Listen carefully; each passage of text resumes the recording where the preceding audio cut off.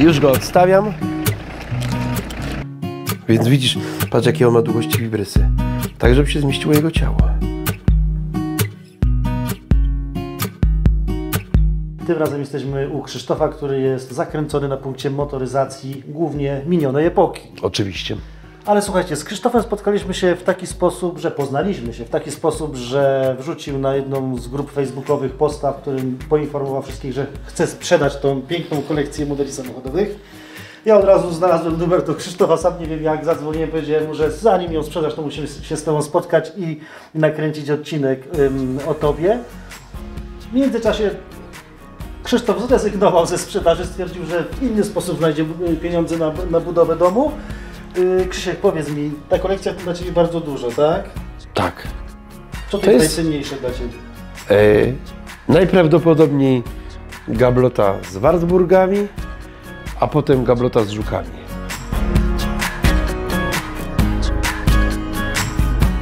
To jest żuk pick-up smutek.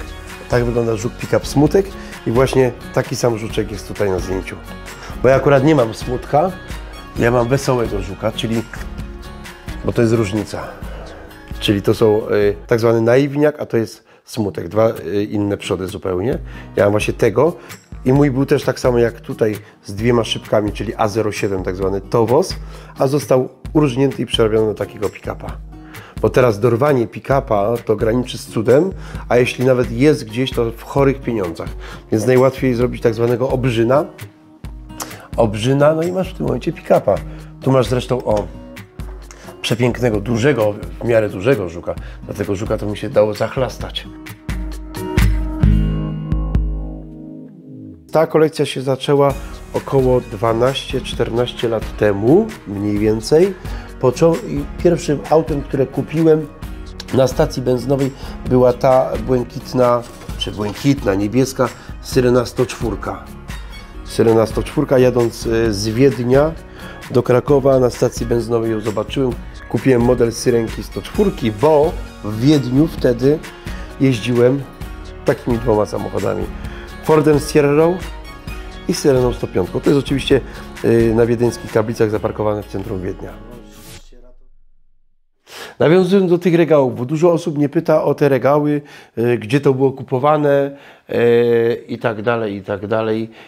To są najzwyklejsze w świecie regały IKEA. Nie reklamujemy oczywiście sklepu, ale IKEA, IKEA Kallax. E, Z tyłu wstawione są z białej dykty plecy.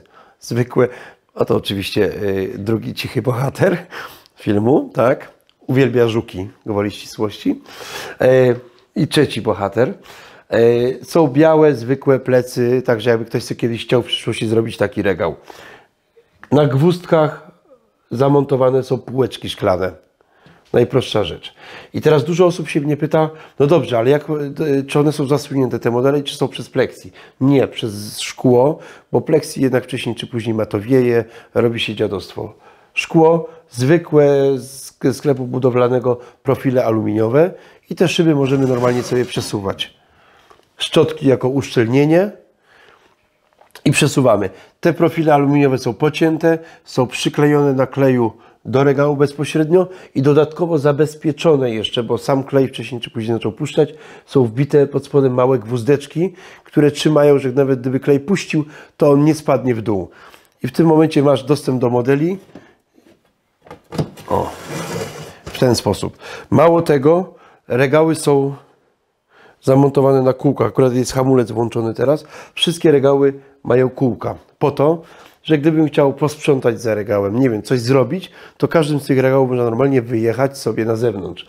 A przy okazji, przez to, że mają kółka, zostały podniesione, czyli do tych dolnych pięter jeszcze można zajrzeć. Chociaż powiem szczerze, że modele, które są na dolnym piętrze, najmniej mnie i moich znajomych zajmują. Chociaż zdarzają się, bo tam są barkasy, więc one nie powinny tam wylądować.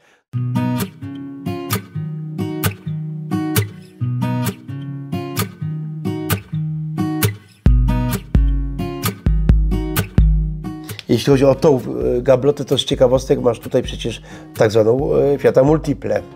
to co uznawane jest za najbrzydszy samochód świata, ale w pierwowzorze. W pierwowzorze. Potem żółty samochodzik, który stoi obok, yy, był właśnie znany w Polsce pod dwoma markami. Fiat 600 albo Zastawa.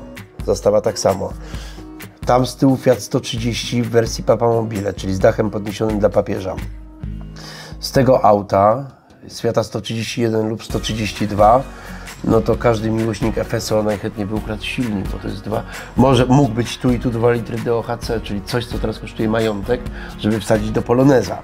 Tu oczywiście przepiękne Autosany, Jelcze, to są głównie polskie, nie są tylko polskie autobusy. Niekoniecznie polskiej myśli technicznej, bo to byłoby kłamstwem, dlatego że Jelcz Ogórek, no to oczywiście jest to czechosłowacka myśl techniczna, czyli Skoda 706 RTO.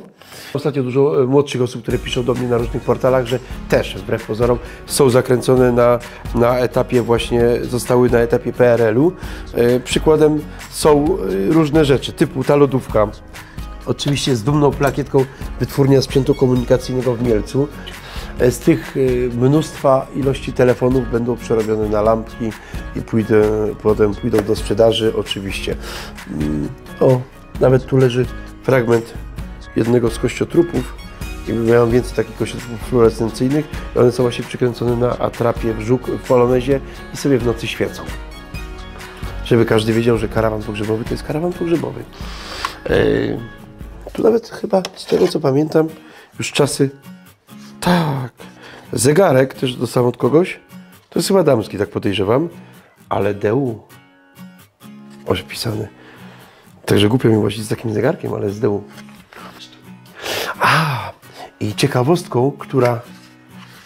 O, nawet dwa pełne opakowania. Mydło toaletowe kosztowało 4,80 zł groszy za sztukę. Pollenna Wrocław, mydło 555. Ciekawe, czy teraz mogłoby kosztować 4,80 chyba tak. Ale to mydło pachnie. To mydło pachnie cały czas. Ciekawe, czy ono jest bardziej naturalne, czy bardziej sztuczne niż obecne. Ale opakowanie się pięknie trzyma. Jest zapakowane cały czas. W oryginalnych opakowaniach.